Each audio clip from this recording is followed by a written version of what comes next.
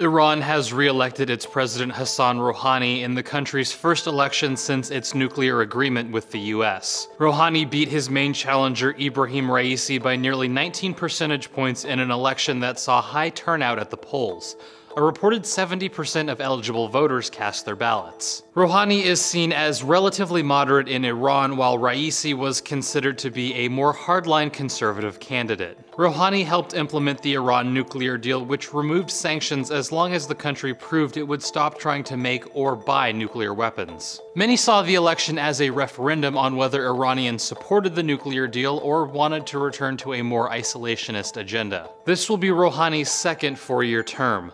Iran's supreme leader Ayatollah Ali Khamenei still has the authority to overrule the president on foreign and domestic decisions.